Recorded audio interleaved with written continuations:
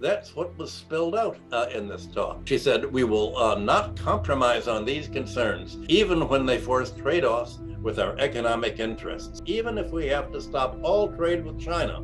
Of course, that's going to hurt American workers who are buying uh, many consumer goods from China. If we can somehow stop all trade and investment with China and create a crisis there and lead to a fall of the government, it'll all be worth it.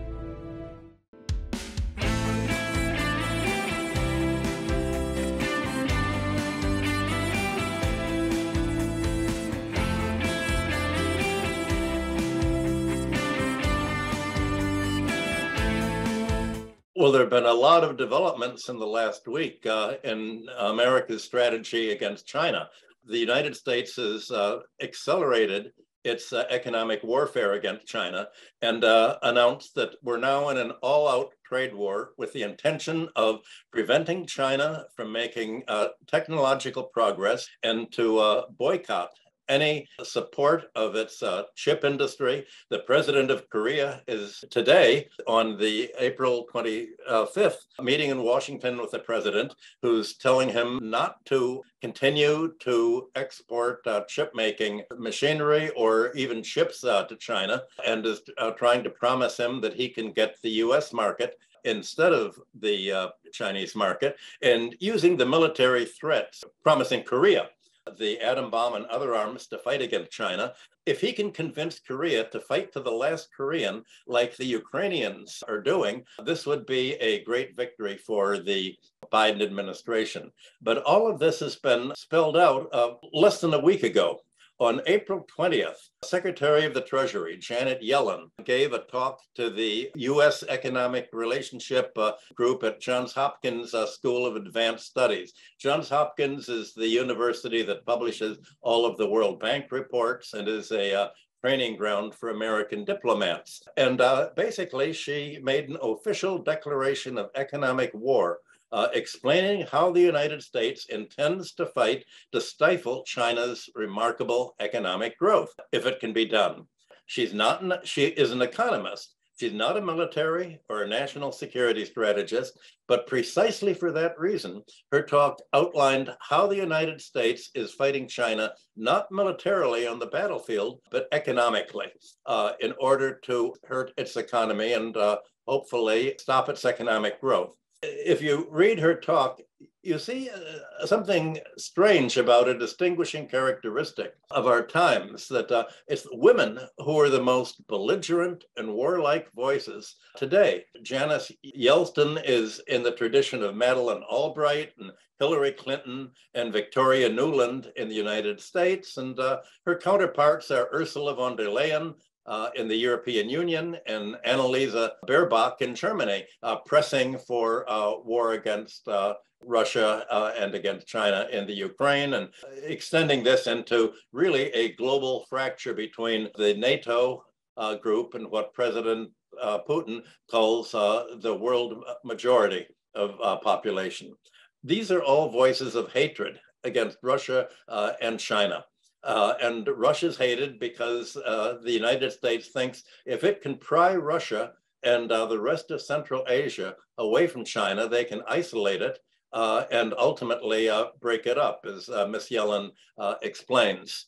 Basically, she and the rest of the Biden administration have framed this their hatred by claiming that the United States is surrounded by enemies, headed by China and Russia. Now, they make this claim despite the fact that it's the United States that has attacked the Near East and NATO that's uh, attacked uh, other countries and uh, had color revolutions in the post Soviet states and uh, have overthrown governments. So, despite the fact that the United States is the aggressor throughout the world, if you read American media and you listen to the American diplomats, it's America under attack. And uh, China is the leading country that is attacking the United States. So uh, we're seeing an old trick.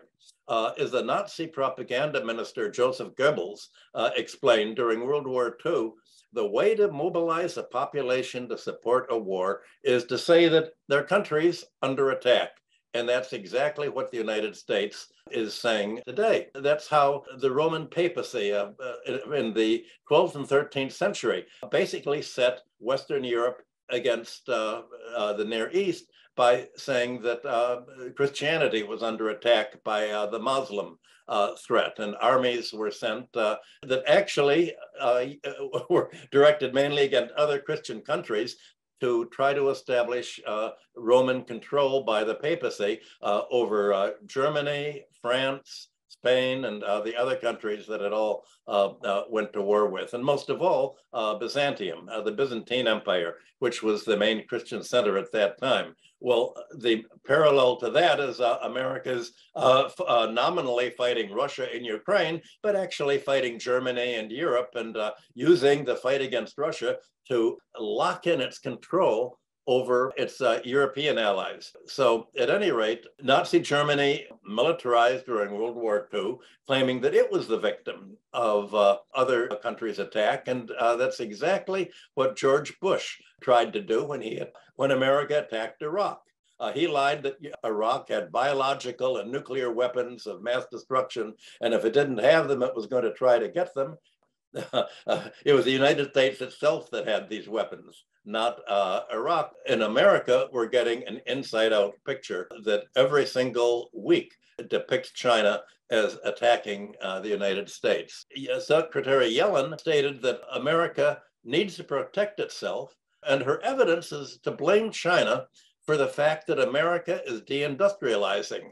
China has been growing very rapidly and uh, raising its uh, national income uh, and its living standards. Most of the American population has been losing its living standards uh, for the last uh, 20 years. Uh, real wages have been going down and down. The overhead of debt and rents have been going up and up. The American voters are in a state of malaise. They know that they're suffering. And the reason they're suffering is I've discussed in these lectures before is because uh, what used to be industrial capitalism has turned into finance capitalism. Naturally, the uh, finance capitalists that are steering the system are not going to blame themselves. They need an external enemy. And uh, China, because of its success, is the most obvious uh, country to label an enemy. Any country that is a success and independent from the United States and is growing and keeping its wealth at home is declared an enemy of the United States ipso facto. That means automatically. What actually has ended American industrialization, as I said, is finance capitalism and uh, financialization, privatization, rent seeking, absentee uh, home ownership. Home ownership in the United States has fallen by uh, about 10 percentage points uh, since 2008 as a result of uh, President Obama's uh, support of the banks instead of uh, bank customers. And so the financial sector is trying to deny responsibility for causing this shrinkage American living standards. And uh, how do you deny responsibility? You say that somebody else is doing it. And uh, that is what America's uh, neoliberal economic uh, courses teach students in the universities. The university economics courses applaud finance capitalism as economic progress because it, it does make rich people richer, but it makes the bankers and real estate owners and monopolist richer at the expense of the rest of the population. But the universities essentially say, well, if the magnitude of wealth of stocks and bonds and real estate, if the prices are going up, that's how we measure progress, not in terms of how wages are going up or how living standards are going up, or how government health care and other infrastructure are providing subsidized services. None of that uh, really counts as progress. And in fact, countries that try to build up their infrastructure with government support are basically to blame for uh, all of America's problems. So when you listen to a speech by, it could be not only by uh, Treasury Secretary Yellen, but by Blinken and uh, Sullivan and the other national security and secretaries of state, it's exactly the same narrative uh, that you're that you're getting.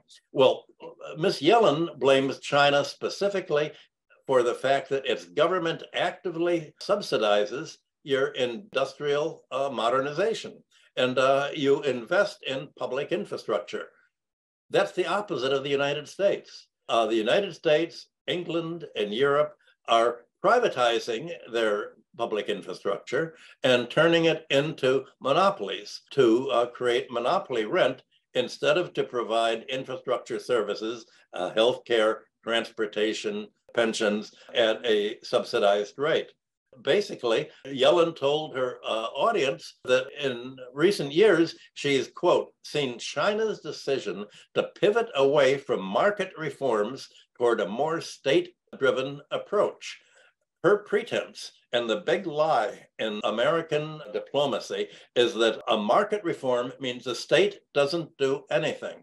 When the Americans say market reform, they mean no government regulation at all, no anti monopoly regulation, no government investment in infrastructure. It means uh, no government forward planning. All planning is to be shifted to Wall Street and the banks. And the purpose of that planning is to make money for the banks, the financial sector, and uh, their customers. That is what uh, Ms. Yellen said very straightforward. Now, the fact is that every economy really is a mixed economy, especially the United States, which has just uh, announced a few months ago a huge subsidy program for ostensibly for environmentalism, but it really means that it's subsidizing its uh, industry in conflict with uh, European industry that does not uh, uh, get any uh, such subsidies. So it's the United States that's using its government to uh, plan the economy along military lines, aiming at control of other countries, but it's accusing other countries of doing just what it's doing. The American strategy is to prevent China and other countries from becoming prosperous by government investment and support of their industry, which is exactly the way the United States uh, has grown. And I'll quote what Miss Yellen said. Let me get her quote up. She said, quote, China has long used government support to help its firms gain market share at the expense of foreign competitors. In other words, it succeeded in producing goods at a lower price than other countries can do. But in recent years, she says, its industrial policy has become more ambitious and complex well, you should be glad it's ambitious and complex. China has expanded support for its state owned enterprises and domestic private firms to dominate foreign competitors. In other words, to become more efficient than they are. It has done so in traditional industrial sectors, as well as emerging technologies. This strategy has been coupled with aggressive efforts to acquire new technological know-how and intellectual property, including through intellectual property theft and other illicit means. In other words, when China is trying to develop its own technology, instead of letting the United States take the lead and buying the technology from the United States, that is defined as Chinese aggression. And that is why the United States is fighting against China, because China is efficient. And uh, that is defined as an attack on America, which is not efficient and, quite frankly, has no way of being efficient until it moves away from financializing uh, its economy. Well, what does all this mean? To block China and other countries from joining what uh, Putin calls the uh, world majority. Ms. Yellen describes the United States' economic approach to China as having three principal objectives. And uh, her list reveals the sinister and exploitive character of America's planned economic attack on China. The, in other words, she spelled out uh, in her own words exactly how America is going to attack China.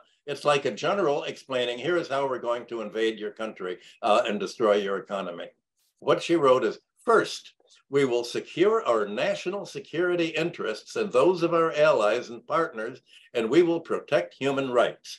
By protecting human rights, she meant Xinjiang and other regions, China has to be cut up and divided into five countries. It's wrong of you to have a single country of China. You have to have each ethnic uh, group separate. Uh, Xinjiang and the uh, Uyghurs go their way. North and South China have to be broken up. Human rights is breaking up China so that it doesn't have a single government anymore, and uh, so that there will be a free for all of privatization and monopolization. You will go back to the warlord type of economies of China's distant past thousands of years ago.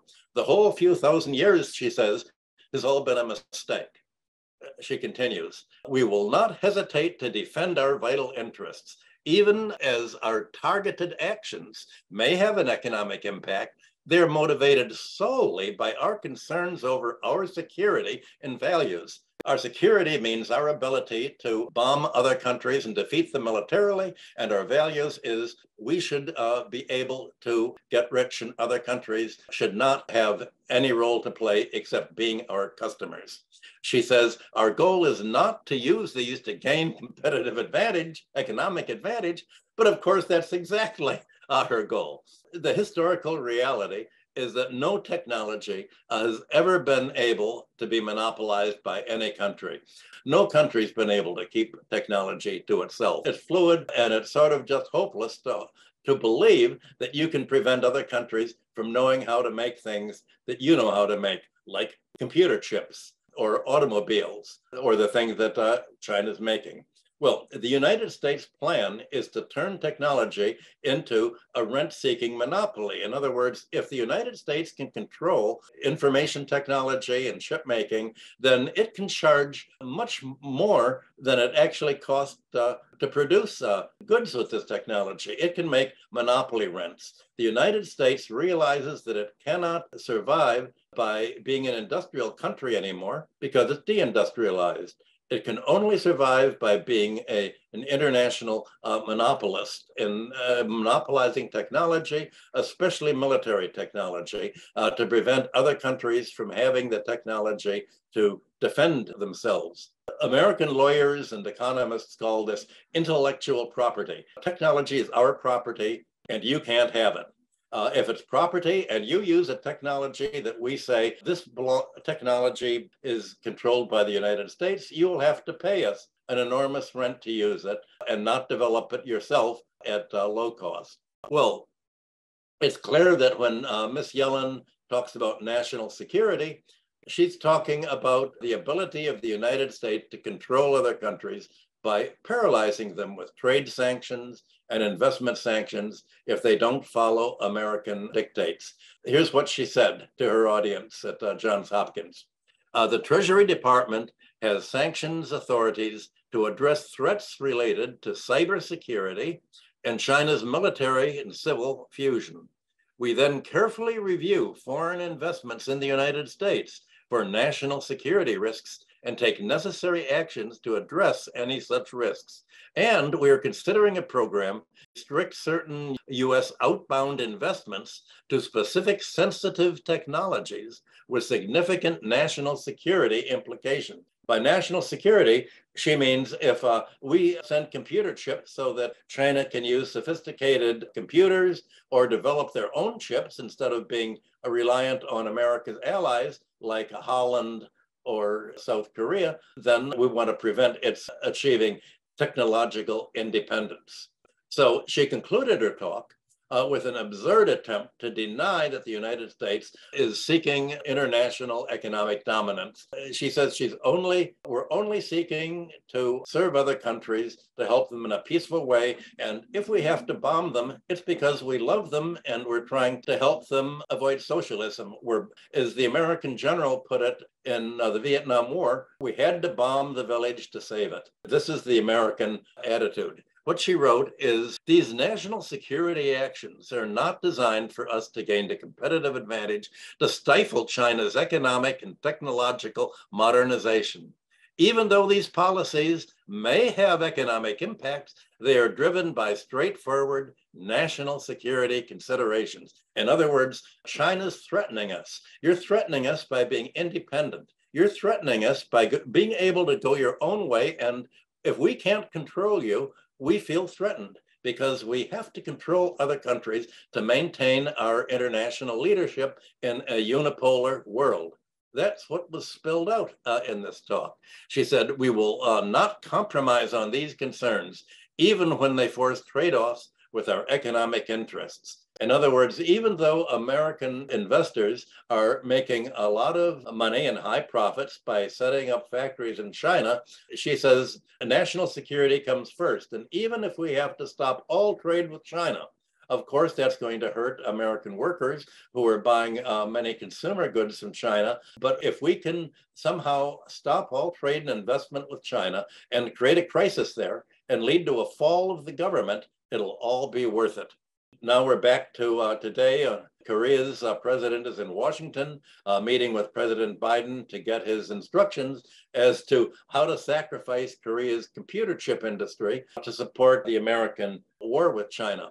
And as the Financial Times uh, has reported, the aim is to block China from uh, obtaining or producing advanced semiconductors.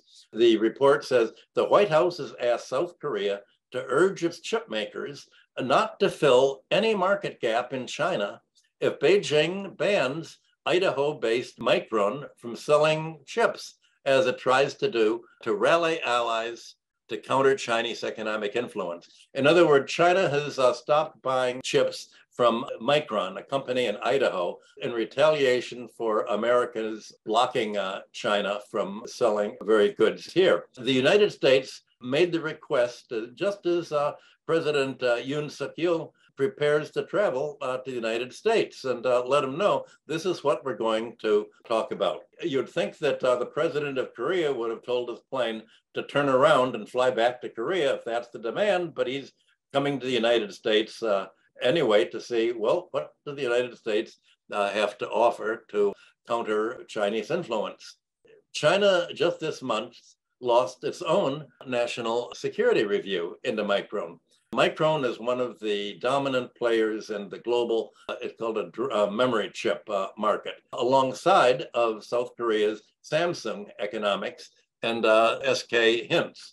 So uh, it's not clear whether the Cyberspace Administration of China is going to take punitive action, but the stakes for Micron are very high because uh, Micron has been selling most of its chips to China. And if American companies can't sell to China, if China makes its own uh, chips, then um, uh, the profits of American computer companies will go down and they won't have enough money to invest in uh, new technology. And China is going to pull even further ahead in uh, getting more patents and more technological breakthroughs than are occurring in the United States.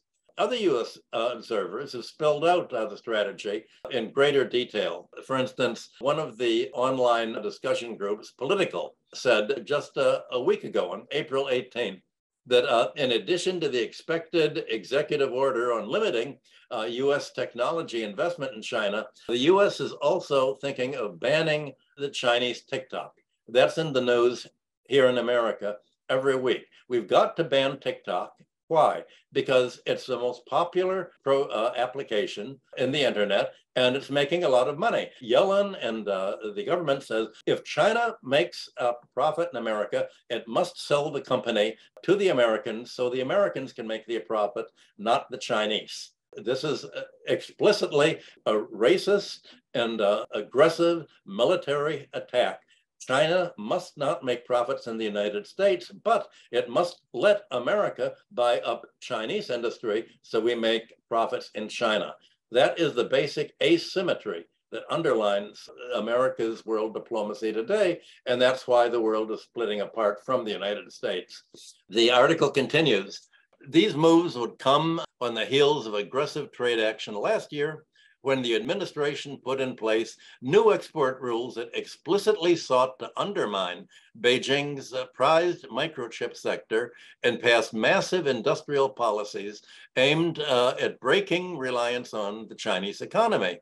Uh, at the time, National Security Advisor Jake Sullivan was clear that the goal of the strategy was to preserve America's competitive edge, meaning dominance, in the emerging high-tech industries.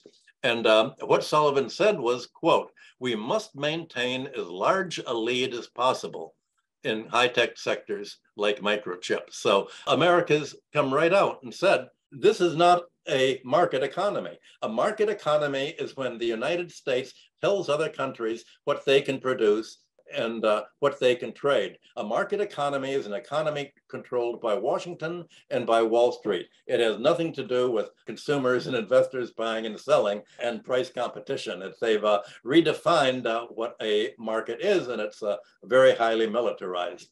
So, spelling out the uh, U.S. plan in detail, uh, the political article, the Politico article points out that U.S. policymakers, quote, last year considered including up to five major Chinese industries: microchips, artificial intelligence, quantum computing, biotechnology, and clean energy as uh, areas that China must be prevented from investing in and must rely on the United States, as just as Europe and uh, other countries must rely on the United States in these industries.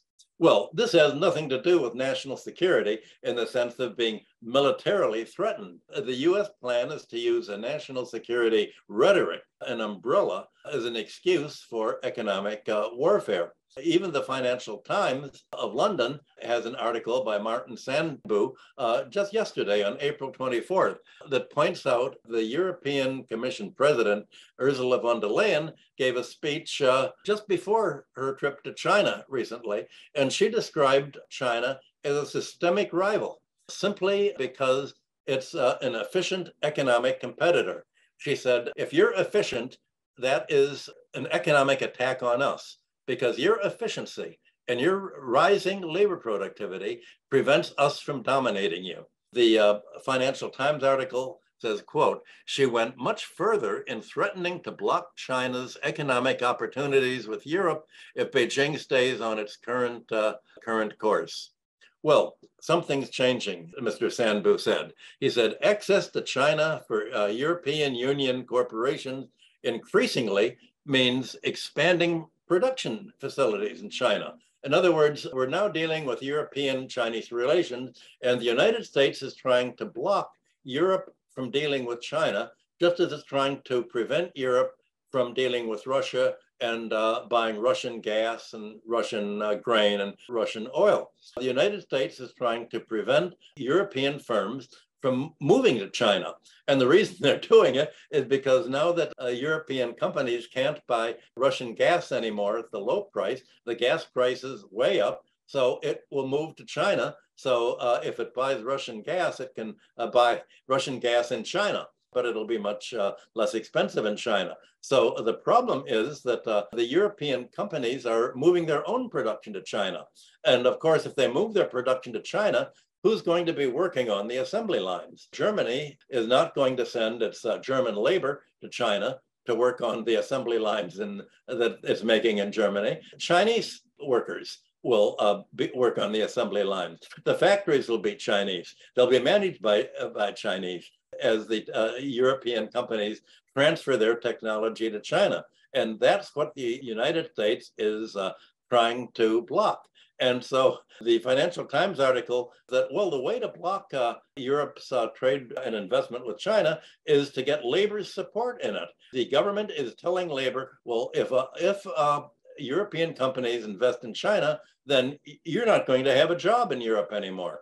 And you're not going to go to China because you don't speak Chinese and uh, China wants to employ its own labor there. In the US view, socialism is the enemy of labor. Raising living standards is socialistic, and that's uh, being denounced. Uh, you make profits by lowering wages, not by uh, raising them. And uh, so you're really having the world divide into two different economic systems. Well, the problem, of course, is that neither America nor Europe can reverse what's been happening over the last uh, 40 years since uh, Margaret Thatcher and Ronald Reagan and the neoliberal turn that Europe has, has taken. You can't reverse the privatization that's taken place. You can't reverse the debt overhead that's mounted up and taken place. The monopoly uh, treating of healthcare, the dismantling of uh, public health services from England uh, to the United States, and uh, the dysfunctional financial system that uh, you've seen the Swiss banks uh, that are going bankrupt uh, and dissolved in the last week. Right now, today as we're speaking, Korea is being promised a wider US market if it will stop exporting computer chips to China.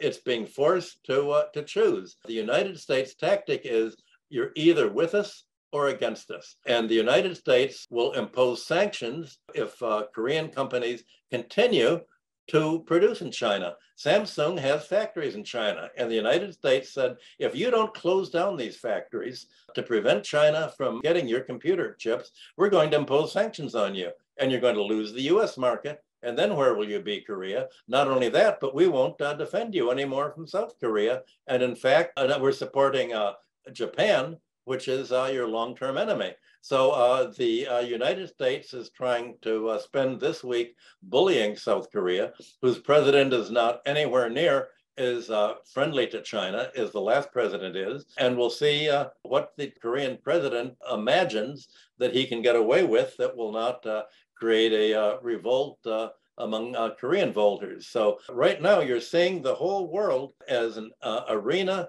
an economic arena for the economic war that is uh, just as vicious and deadly as the military war that uh, Russia is uh, fighting against NATO uh, in Ukraine. That's how I think over the next few weeks you're going to see the strategy that uh, Secretary Yellen has uh, laid out and that Foreign Secretary Blinken is going to be explaining. You're going to see all of this break out into the open much more, at least in China, if not in the American news media.